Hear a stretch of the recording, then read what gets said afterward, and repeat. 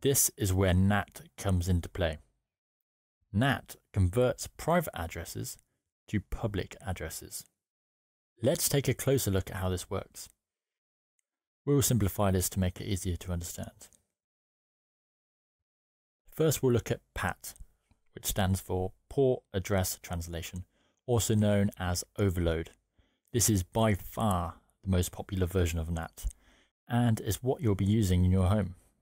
When your computer sends data to the router, the router takes a look at it, it looks at the source address, the port number, the destination address, and the destination port number. Now the port number is very important here.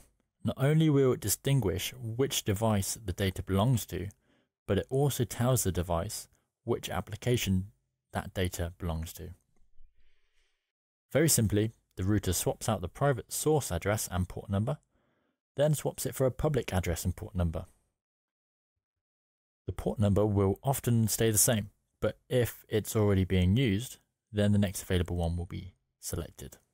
To keep track of which public addresses belong to which private addresses, the router builds a NAT table.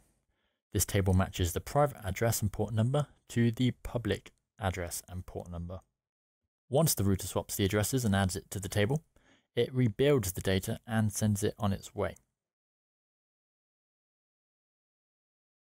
When the data comes back, the router again looks at the addresses. The source address is now the address where it came from. Some web server somewhere doesn't really matter. The destination is now the public address and port number. The router looks at this and checks the destination against the NAT table.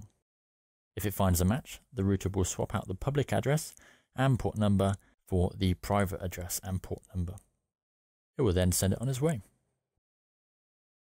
Once the computer has the data, the port number will tell which application to send it to.